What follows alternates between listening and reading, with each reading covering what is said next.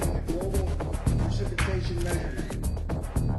To discuss the mission, we have with us John Stockton, GPM Project Formulation Manager, NASA Headquarters. Mohan Bhargav, Project Manager.